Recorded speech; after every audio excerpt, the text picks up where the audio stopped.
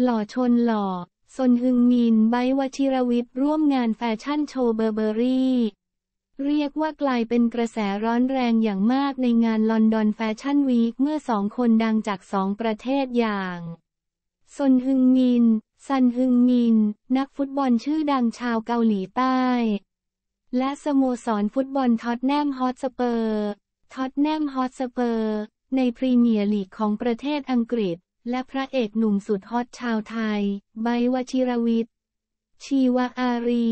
ได้เข้าร่วมงานเดียวกันและถ่ายรูปด้วยกัน เพื่อเข้าชมแฟชั่นโชว์คอลเลกชัน Spring Summer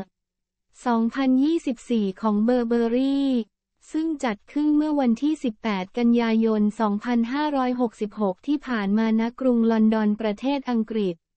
เรียกว่าเป็นภาพที่ไม่ได้เห็นกันง่ายๆ กับการที่คนดังของวงการฟุตบอลและวงการบันเทิงไทยจะได้มาเจอกัน